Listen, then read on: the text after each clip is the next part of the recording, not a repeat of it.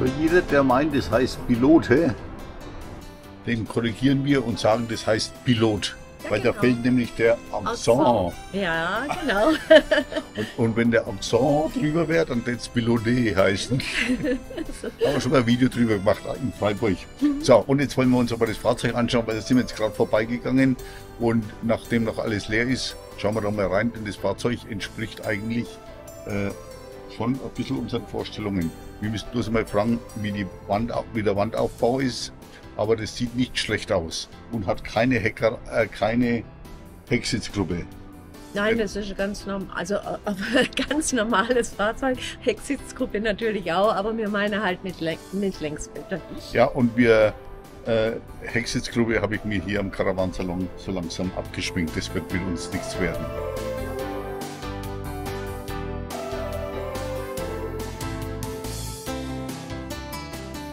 Pilot äh, G781 FGJ mit 103.000 Euro. Hier gibt es einen Sonderpreis von 110.000 für das Fahrzeug, wie es hier ausgestattet ist. Der Ganze hat ein zulässiges Gesamtgewicht von 6 Tonnen, hat eine Länge von 7,89 Meter und eine Innenhöhe von 200 Meter, Außenhöhe 288. Das ist alles, was uns extrem entgegenkommen würde. Stimmt's, Ursi? Jo. Eine viereinhalb Tonne, was soll das sein? Äh, hat ein zulässiges Gesamtgewicht 6, 6 Tonnen. Zugelassen, zugelassene ist 4,5 Tonnen, Mhm. aber Nutzlast ist 1260. Also da müssten wir uns jetzt selber kundig machen, aber man kann den ja mit Luftfederung auch noch ein bisschen auffriemeln. Mit Alco-Fahrwerk auf Fiat und Fiat habe ich ja schon mehrmals gesagt, finde ich gar nicht mehr so schlecht, nachdem wir jetzt auch alles an äh, Fahrassistenz haben, was es hier, was hier angeboten wird und was Mercedes hat. Die Tür von der Heckgarage lässt sich schon mal um 180 Grad fast öffnen und es ist ja schon für uns ein Qualitätsmerkmal. Ja, wenn du gerade bei der Garage bist, ich habe gesehen, die ist sogar sehr groß. Ja, da bringen wir alles Also unter da würde man alles unterbringen, was wir jetzt auch in der Garage. und da bringen wir sogar, sogar Regale rein. Ja. Regale und Fahrräder, alles passt rein. Und eine Waschmaschine. Ja. Jetzt, wenn wir schon da sind, dann schauen wir uns auch gleich den Rücken an. Der hat hier ein bisschen Seiten, Seitenwulst, aber das ist eigentlich nicht schlecht, schaut nicht schlecht aus. Da könnte ich damit leben mit diesem Rücken. Und wenn wir schon außen rum gehen, dann gehen wir gleich noch komplett rum. Auch hier wieder die Schlösser, das finde ich gut. Die machen einen, einen stabilen Eindruck.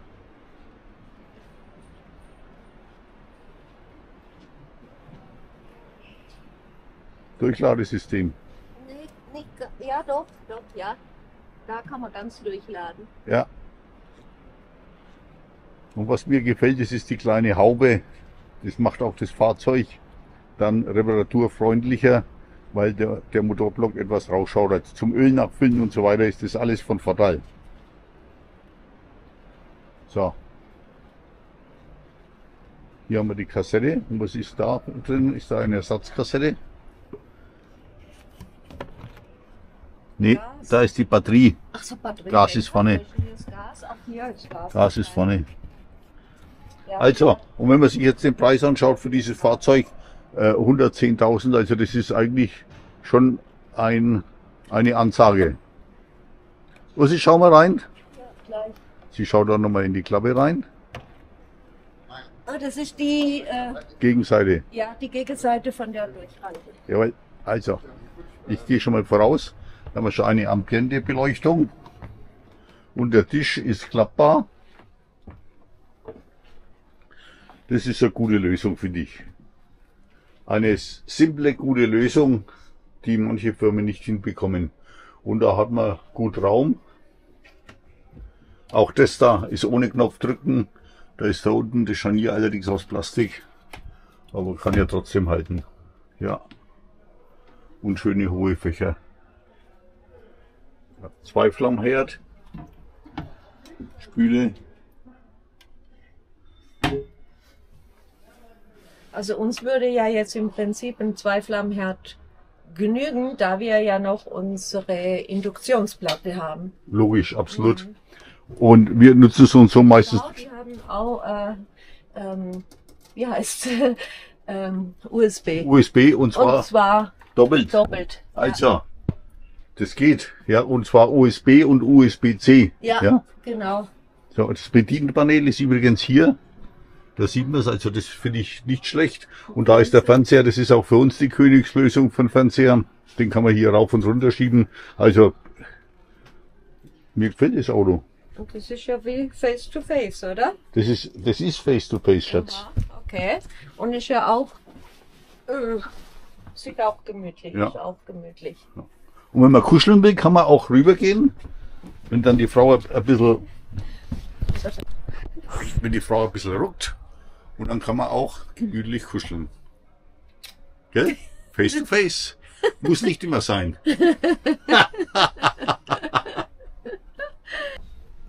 An die Scheibe kommt man ganz locker hin. Die Ossi weigert sich jetzt da, den Scheibenvorführmodus zu machen. Aber da, ihr seht, ich komme ganz leicht hin. Ich bin da nur ganz schön, ganz schön weit weg und komme aber locker an die Scheibe ran. Also das ist erstens der Vorteil vom Fiat und zweitens natürlich die kleine Haube, die da hier noch Vorteile bringt. Und dann muss ich sagen, das Fiat Cockpit, also der hat zwar noch den alten Schaltknauf, nicht mehr so, nicht so modern wie Mercedes, aber für uns langt das. Rückfahrkamera ist hier und das Ganze ist gefällig gebaut Ja. gut integriert. Hier sogar mit Ablagefläche, was viele nicht hinkriegen. Da fliegt dann das Zeug immer vorne rum. Hier haben wir eine schöne Ablagefläche, wo man also Handy etc. oder Kamera reinlegen kann. Spiegelt sich dann allerdings in der Dashcam Ja, genau, das würden wir eben nicht machen. Und das Fiat immer nur dieses komische Klemmbrett hat, also das ist auch ein blöd. Ja, ist halt Fiat. Ja, aber ist blöd. Und die Spiegel, die sind jetzt kleiner Kritikpunkt, muss ich ganz klar sagen. Da gehörten eigentlich äh, noch ein zweiter Spiegel hin, damit man da ein bisschen nach unten schauen kann. Also das fehlt hier, aber den kann man ja nachträglich montieren. Oder man nimmt die elektronische Variante. Ja, und schau mal hier mit dem USB. Ja. Der hat jetzt sogar beides. Ja, USB-Stecker von Fiat, USB-C und USB und 12 Volt. Also Ja, also das, ich meine, das haben wir ja auch, aber wir haben ja das nur mit dem USB normal. Ja, An- ja. Und in den neuen Fahrzeugen ist das jetzt auch noch mit dem C-Stecker. ja, damals 2017 gab es noch kein Das USB-C. Ja, ja, ja. Und so, das ist alles wie gehabt. Das ist Aha. Wie Und gehabt. hier ein großes Fach. Ja, Wie geht der Frontrollo, Ursel? weiß ich nicht. Was ich da oben, ah, das ist ein wenig so eine fummelige Sache. Schau, schaust du mal bitte? Ich habe nämlich gerade die Kamera. Nee, du musst zeitlich zusammendrücken. Da, ja. Ah, der geht aber Ah, relativ geht einfach. Der geht ganz leicht. Ja, also das wäre machbar. Mhm. Vielleicht gibt es Ah, auch. und der geht auch so. Ah, gut. Und, und wie schön der läuft, Ja, ja. ganz locker lässt. Also da können sich manche Hersteller auch ein Beispiel nehmen dran. Jetzt geht's schon schwerer. Hochschiebe. Du weißt, normal gelingt's am, am Vorführeffekt nicht, aber hier gelingt's. Diese- Ah, vielleicht nicht mehr. Okay. Das war's mit Vorführen. Wir führen jetzt nichts mehr weiter vor. Aber das, das geht, also das ist machbar. Ja, ja. Elekt Äh, elektrisch wäre natürlich schon begrüßenswert. Gell, Ossi? Ja, vielleicht kann man das sogar einbauen. Ja. Weiß man's. Wir ja? nehmen auf jeden Fall Informationsmaterial mit, weil ich finde das Fahrzeug nicht schlecht. Mhm. Ist ein bisschen im Gustl-Style. Ja, Und vor allen Dingen ist auch der, der Raum, soweit ich das sehen kann, genutzt. Schauen wir doch mal weiter. ja.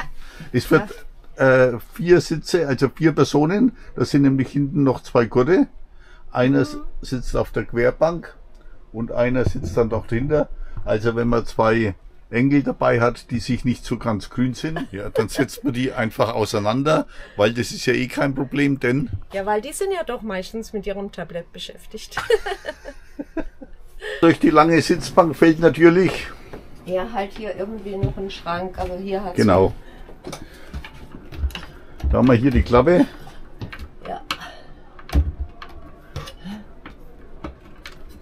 Ah, einfach so. War schon auf. Okay. ja, hier haben wir Schrankfach. Ja, da oben hat es eine Steckdose und so, da fällt nur und USB hat es dahinter. Aha. Da habe ich nur noch nicht richtig angeschlossen. Dann haben wir hier einen Kühlschrank, das ist der von Tedford, nicht von Dometic. Ja. Gef- Das übliche halt Ja. mit Gefrieren und, Und- so. Ja, und unten, unten haben wir Technik. Lüftungs Lüftungsschlitz und Technik. wird der Kühlschrankzeug drin sein. Die Schublade fehlt. ja. Und die Aus sind das Auszüge? Ja, ne? Ähm, brauchst du Stemmeisen? Ja, irgend, ich weiß jetzt nicht.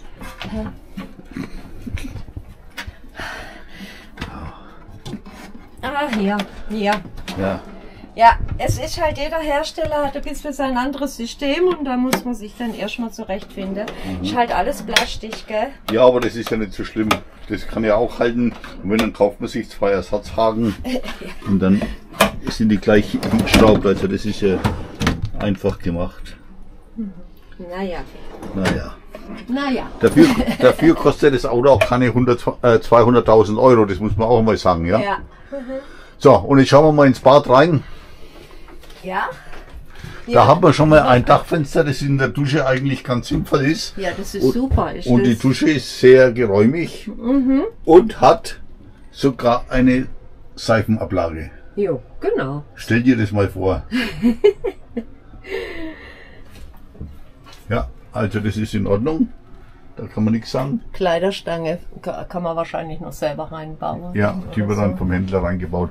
Was ich bemängeln muss, ist, dass das Fenster nicht ganz hinten ist. Und dann haben wir hier wenig Ab Ablagefläche. Ist so wenig Ablagefläche. Das sind nur hinten die Kästen. Da hin- hinter der Verkleidung kann man. Aha, da kann man Handy und Co. ablegen. Ja, genau, weil hier hat es nämlich auch USB-Stecker und USB. Aha, Beides. also, Also zwei, beides ist hier hinter Lämple. Also und hinten dran, ja eben Ja. kann man über Nacht sein Handy hinlegen. aber das da, geht, das da geht nicht auf, oder?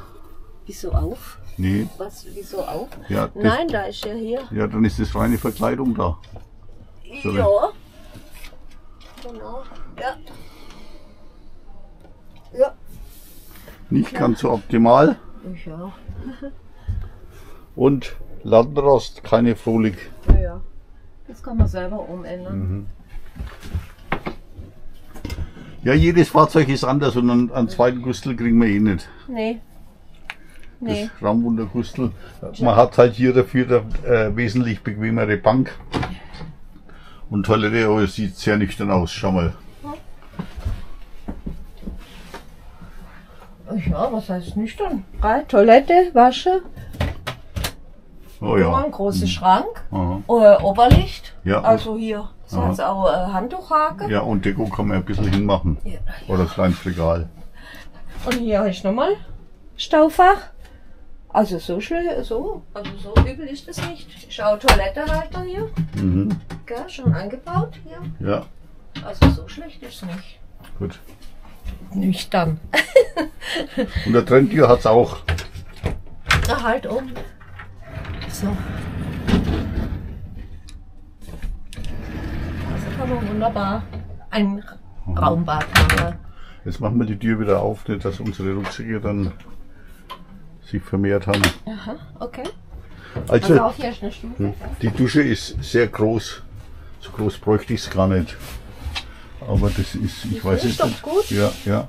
Das Ist ist, gut. das ist aber kein Plastik hier. Also da habe ich jetzt keine Erfahrung, wie das ist, wenn das keine Plastikwand ist und da kommt irgendwann nochmal ein Schlag rein oder so. Das wird schon. Das Ja, also man hat hier auch eine kleine Stufe nach oben, das sehe ich jetzt gerade. Aber der Doppelboden müsste trotzdem ausreichend sein. Also machen wir hier die Klappe wieder zu. ja, und hier haben wir hier haben wir auch noch eine kleine Ablage. Also ja. Man muss natürlich den Preis schon berücksichtigen. Also wir, wir reden hier nicht von einem 180.000 oder 200.000 Euro Wohnmobil, sondern von einem 110.000 Euro Wohnmobil mit 7,86 Meter und 180 PS Motor schon. Ja, Ah ja, das ist doch gar nicht schlecht. nein, super. Und Automatik ist auch hier schon mit eingebaut.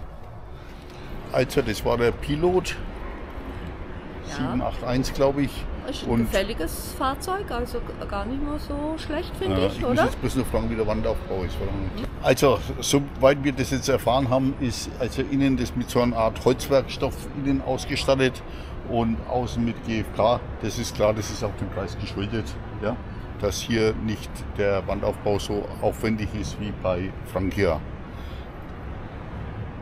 Pilot gehört ja zur Frankia-Gruppe. Ah, Genauso okay. wie Le Voyageur Mhm. und äh, wie Rapito. Das ist alles Doch. Mhm. ja, eine Gruppe. Aha. So, das war's von Pilot. Das war's also zum Le Voyageur gehen wir nicht. Wir haben ja noch andere Fahrzeuge im Auge. Jetzt haben wir 925, da schauen wir schnell zu den Chinesen rüber. Mal schauen, ob wir da rankommen. Genau, also wir hoffen, das hat euch gefallen. Interessantes Fahrzeug, also Preis-Leistungs-Verhältnis ist super. Äh, natürlich, Wandaufbau ist nicht die letzte höchste Qualität, aber ich finde das Fahrzeug einfach toll. Und ein gutes Preis-Leistungs-Verhältnis. Schaut mal rein, Halle 17, in der Halle, wo auch Frankia steht. Ciao. Tschüss.